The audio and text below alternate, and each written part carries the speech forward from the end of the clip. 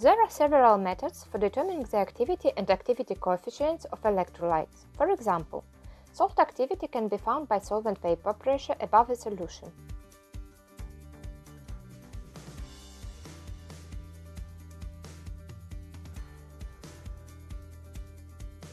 By cryoscopic and ebullioscopic methods,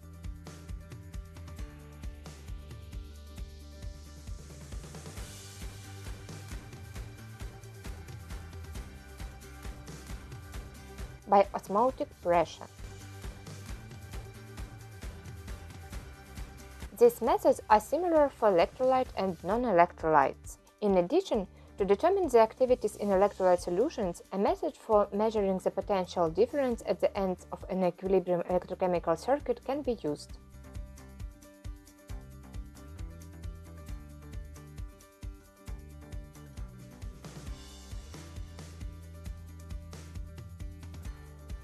This method is based on the laws of electrochemical thermodynamics. In all methods, the measured activity in certain coordinates is extrapolated to zero concentration, when the activity coefficient is equal to unity.